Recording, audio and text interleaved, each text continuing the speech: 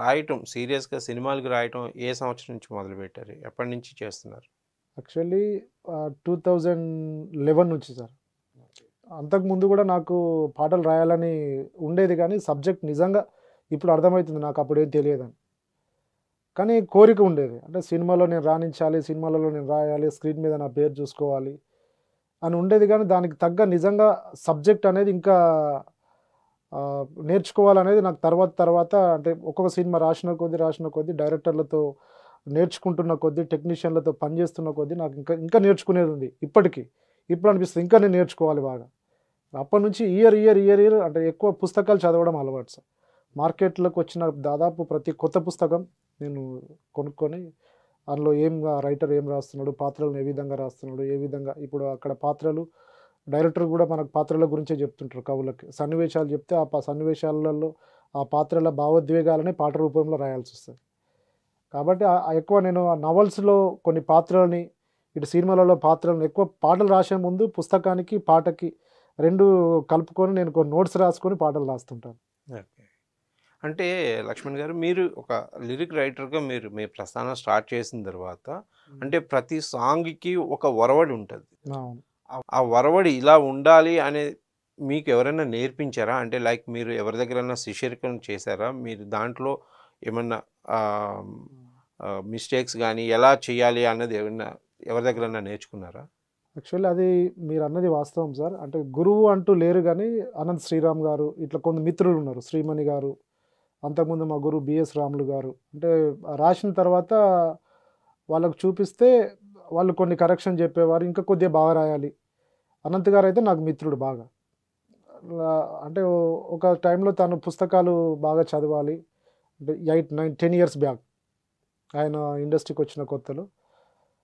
అప్పుడు అప్పుడు అర్థమైంది నాకు. అప్పుడు పుస్తకాలు ఎక్కువ చదవడం వల్ల మనకు తెలియకుండానే మైండ్లో ఒక జ్ఞానం అనేది నిగూఢంగా నిక్షిప్తమై ఉంటుంది అనేది చదివిన కొద్ది అర్థమవుతుంటుంది అంటే ఎప్పుడైనా డైరెక్టర్ సిచ్యువేషన్ చెప్పినప్పుడు పుస్తకాలు చదవక ముందు పుస్తకాలు చదివిన తర్వాత ఒక సిచ్యువేషన్ మీరు చెప్పారనుకోండి మీరు చెప్పినప్పుడే ఇప్పుడు హండ్రెడ్ పర్సెంట్ నేను దానికి న్యాయం చేస్తా అనేది మైండ్లో ఫిక్స్ అయ్యి అంటే నేను రాయగలుగుతా అనే ధైర్యం వస్తుంది.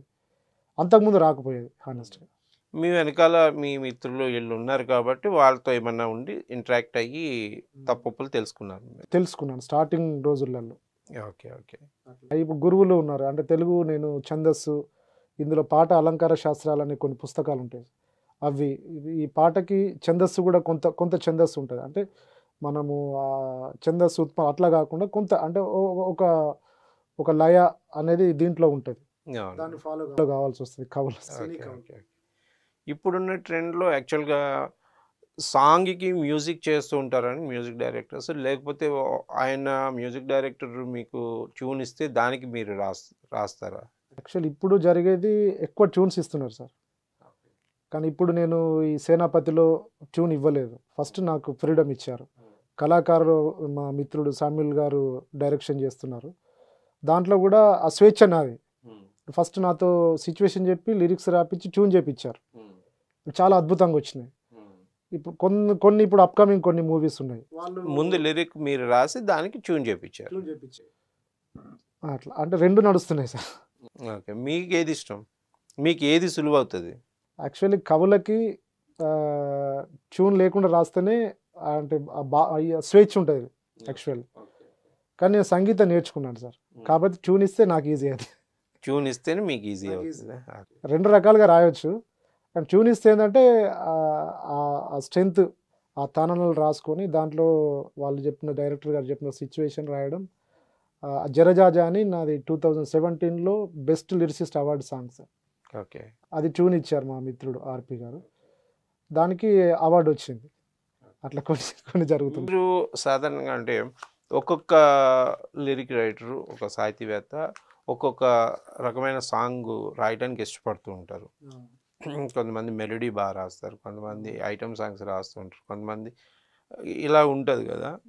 మీరు బాగా ఏ కైండ్ ఆఫ్ సాంగ్ రాయడానికి ఎక్కువ ఇష్టపడుతుంటారు. పర్సనల్గా మీకు ఏది ఇష్టం నాకు మెలోడీస్ బాగా ఇష్టం సార్. ఓకే. నాకు ఇప్- ఇప్పటి వరకు పేరు తీసుకొచ్చిన అయితే మెలోడీ సాంగ్స్. సిద్ శ్రీరామ్ గారు పాడిన కనలేదే నువ్వని కావచ్చు. ఓకే. ఏదండి ఆ సాంగ్ ఏ సినిమాలోది కనలేదే నువ్వని సార్. హుషారు సేమ్ నువ్వని. సినిమా పేరు కూడా అదే.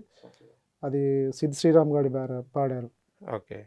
అది మెలోడీ ఉంటుంది. టూ మిలియన్స్లో ఉంది సాంగ్ అది. మధురలో టాప్ సాంగ్. అవునండి. మ్యూజిక్ ఎవరు చేశారండి అది? ఆర్పి అని నా మిత్రుడు